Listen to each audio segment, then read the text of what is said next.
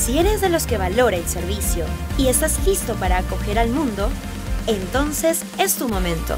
Estudia Administración de Servicios de Hostelería y Restaurantes. Prueba de admisión, 13 de abril.